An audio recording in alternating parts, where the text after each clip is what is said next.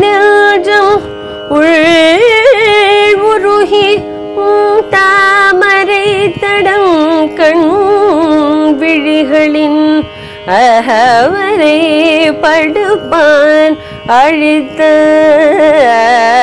உன் திருவடியார் தகப்பு செய்திலை எங்கள் சிற்றிலும் யாமடு சிறுசோரும் கண்டு முக ஒளி திகழ முறுவல் செய்து நின்றில்லையே. ஆழ்வார் திருவடிகளே சரணம்.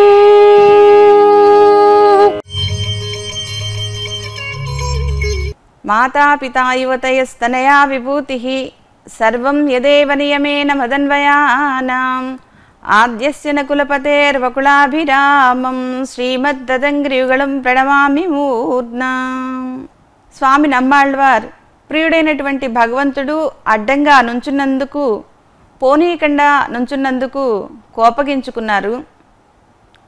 స్వామితో మీరు తప్పుకోండి నేను బయటికి వెళ్ళాలి అని అందామంటే ఎందుకు ఏమిటి అని ప్రశ్నలు వేస్తాడు భగవంతుడు. పోనీ మాట్లాడదామా ఎందుకు ఏమిటి అని ప్రశ్నలకి జవాబు చెబుదామా అంటే మాట్లాడిందే తడువుగా తన అదృష్టంగా భావించేస్తాడు స్వామి. పోనీ ఉలకకుండా పలకకుండా నుంచుందామా అంటే తనని అంగీకరించింది అనుకుంటాడేమో ప్రేమించింది అని అనుకుంటాడేమో అందుకోసం ఊరికే నుంచోకూడదు అని ఆలోచించారు ఆళ్వారి నాయకి. తనను పట్టించుకోకుండా ఏదో పనిలో ఉన్నట్లయితే వెంటనే భగవంతుడు వెళ్ళిపోతాడు కదా అనే ఉద్దేశంతో ఆళ్వార్ నాయకి తను బొమ్మరిల్లు కట్టుకుంటూ ఉన్నట్లుగా తనని గమనించనట్లుగా ఉండిపోయింది. ముక్త పురుషులు ఈ సంసారాలను తలచినట్లుగా ఆళ్వారి నాయకి కూడా అక్కడ నుంచున్నటువంటి పరమాత్మను ఏమాత్రం గమనించినట్లుగా బొమ్మరిల్లు కట్టుకుంటూ దానికి మెరుగులు దిద్దుకుంటూ ఉండిపోయింది. అల్లరి ప్రియుడైనటువంటి భగవంతుడు చూశాడు నేను అక్కడి నుంచి ఇక్కడికి వచ్చినా నీ ఎదుట నిలిచినా కూడా నువ్వు నన్ను పట్టించుకోవా అని అంటూ తన కాలితో ప్రియురాలు కడుతున్నటువంటి బొమ్మరిల్లుని తుడిచేశాడు దాంతో ఆళ్వార్ నాయక్కి కోపం వచ్చింది. వెంటనే స్వామితో వాదులాడడం మొదలుపెట్టింది. స్వామి పంట పండింది. స్వామి కూడా దాని గురించే కదా ప్రయత్నం చేస్తూ ఉన్నారు. ఈ అదృష్టాన్ని కలిగించింది ఎవరు స్వామి యొక్క పాదమే కదా. మన ఆండాళ్ళ తల్లి చెబుతారు కళ్ళచ్చగడం కలక్కజే కాలవచ్చి అని. ఒకనాడు యశోదాదేవి నీటి కోసం యమునా నదికి వెళుతూ వెళుతూ చిన్ని కృష్ణయ్యను బండి కింద ఉయ్యాల వేసి పడుకోపెట్టిందిట. ఆ బండిలో ఒక రాక్షసుడు ఆవేశించాడు. ఆ విషయం పాపం యశోదమ్మకి తెలియదు చిన్ని కృష్ణయ్యకు కూడా తెలియదు. కానీ చిన్ని కృష్ణయ్య ఆకలి వేసి కాలు చాచి చేతులు పైకి విరుస్తూ ఉన్నాడు. ఆ కాలు వెళ్ళి ఆ బండికి తగిలింది ఆ రాక్షసుడు తునాతునకలైపోయాడు. ఆ విధంగా ఆనాడు కృష్ణుడికి తెలియకుండానే ఆ కృష్ణుడిని కాపాడినటువంటిది ఆపాదమే. అలాగే కృష్ణుడిని శరణు వేడినటువంటి వారికి పరమాత్మను శరణు వేడినటువంటి వారిని కూడా రక్షించేది ఆ పాదమే.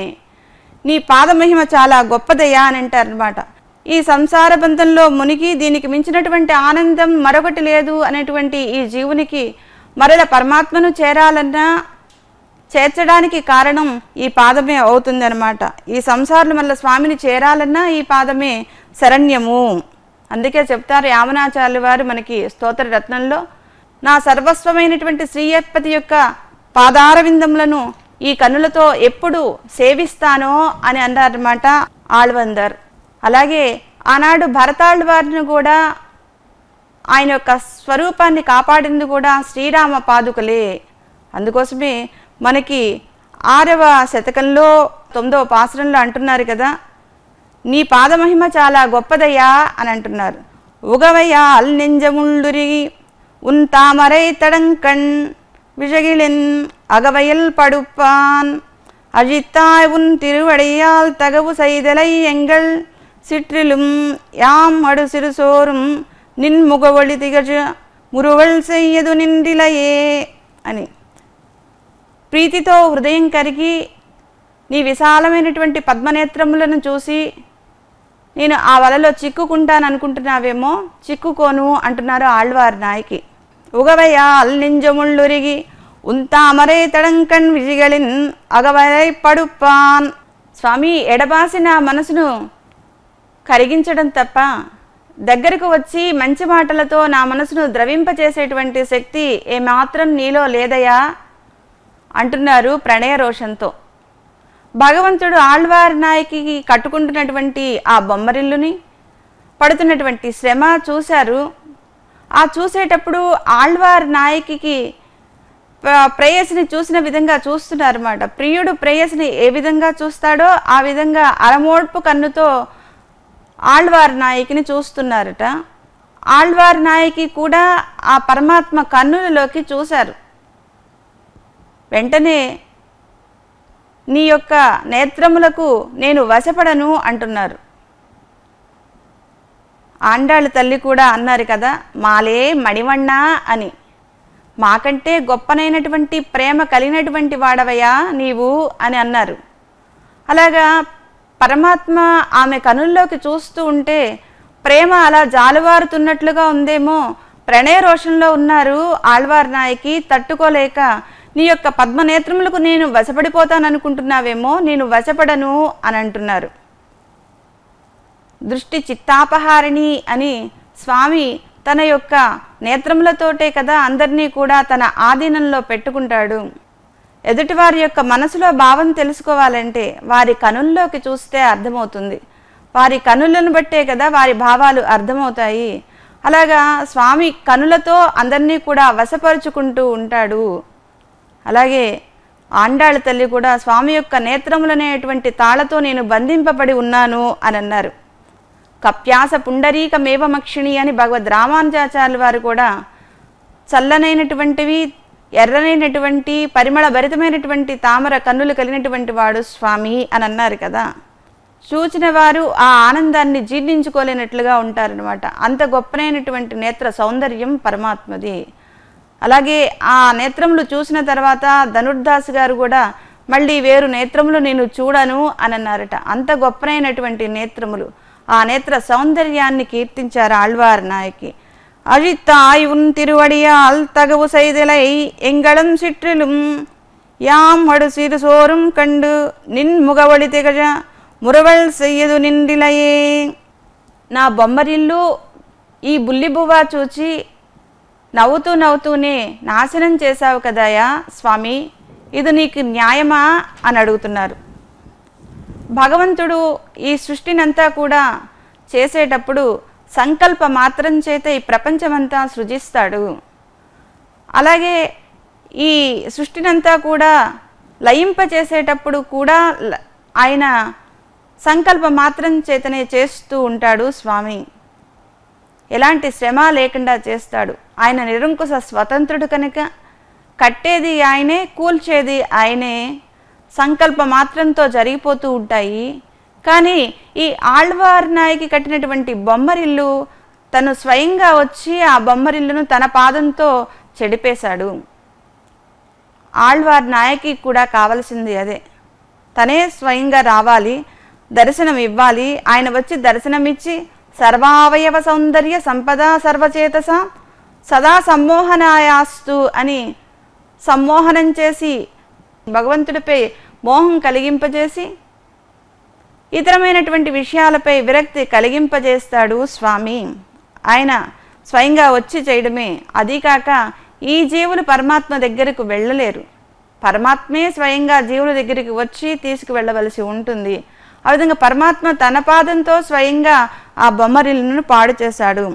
తననే కావాలనుకున్నటువంటి వారికి మరొక దానితో పనేముంటుంది కనుక అందుకే భగవంతుడు బొమ్మరిల్లును తుడిచేశాడు సంసార వ్యామోహంలో పడి ఇక సంసారమే ప్రయోజనము అనుకున్నట్లుగా ఉండేటువంటి జీవులకు లౌకిక విషయాల మీద విరక్తి కలిగిస్తాడు ఆయనే. తన ప్రేయసి అయినటువంటి ఈ ఆళ్వార్ నాయకి చెలికెత్తులతో కూడి కర్మానుభవాన్ని భుజిస్తూ ఉంటే ఈ కర్మానుభవాన్ని తుడిచేసి అమృతత్వాన్ని పొందింపజేయటానికే శాశ్వతమైనటువంటి ఆనందాన్ని ఇవ్వడానికే భగవంతుడు చేసినటువంటి పని ఈ బొమ్మరిల్లును పాడు చేయడం బుల్లిబువ్వను పాడు చేయటము కూడా. నా బుల్లిబువ్వను పాడు చేసావయ్యా అన్నారు కదా ఆళ్వారి నాయకి. భగవంతుడి యొక్క బువ్వ ఈ ప్రపంచమంతా భగవంతుడు సృజించినటువంటి ఈ ప్రపంచాన్ని ప్రళయకాలంలో తన ఉదరంలోకి తీసుకుంటాడు స్వామి.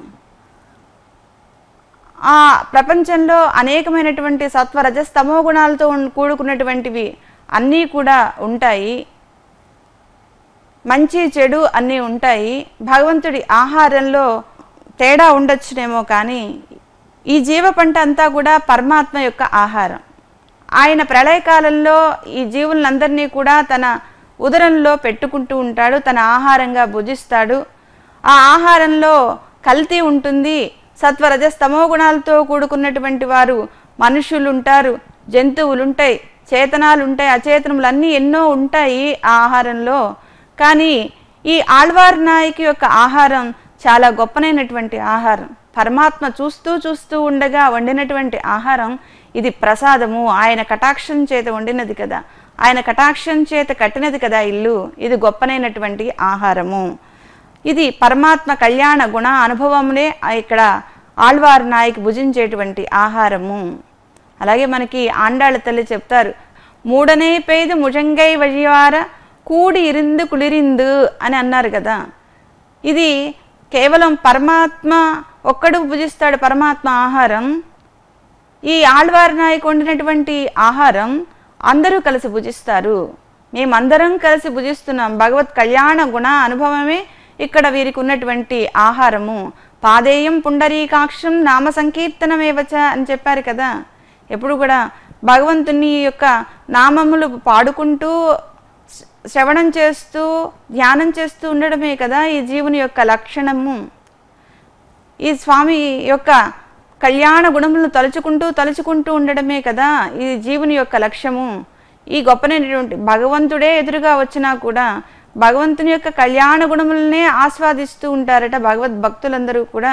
భగవంతుడు దూరంగా ఉన్న ఆ భగవంతుని యొక్క కళ్యాణ గుణములు తలుచుకొని కడుపు నింపుకుంటూ ఉంటారట భగవద్ భక్తులందరూ కూడా. ఇలాగా అందరూ కూడా మేమందరము కలిసి పూజిస్తూ ఉన్నాం భగవత్ కళ్యాణ గుణ అనుభూతిని పొందుతూ ఉన్నాం. నీ వచ్చి అల్లరి చేసి మా యొక్క అనుభూతినంతా కూడా చెడగొట్టావు కదయ్యా అన్నట్లుగా అంటున్నారు ఆళ్వార్ నాయకి. భగవద్ అనుగ్రహానికి పాత్రలు కావాలంటే భగవంతుని యొక్క శ్రీపాదములను చేరాలి. అలాగే భగవంతుని యొక్క దృష్టిలో మనం ఉండాలి అన్నమాట. జీవాత్మల పరమాత్మ కటాక్షల పాత్రలు కావాలంటే స్వామి యొక్క శ్రీపాదములకు స్వామి యొక్క నేత్రములకు చేరువైతే చాలు. భగవంతుని యొక్క అనుగ్రహాన్ని పొందుతాము అంటున్నారు ఆళ్వార్ నాయకి ఆళ్వార్ దివ్య తిరువడిగలే శరణం உகவையானெல்ஜம் உள் உருகி உம் தாமரை தடம் கண் விழிகளின் அகவரை படுப்பான் அழித்த உன் திருவடியார். தகப்பு செய்திலை எங்கள் சிற்றிலும் யாமடு சிறுசுவாரும் கண்டு முக ஒளி திகழ முறுவல் செய்து நின்றில்லையே.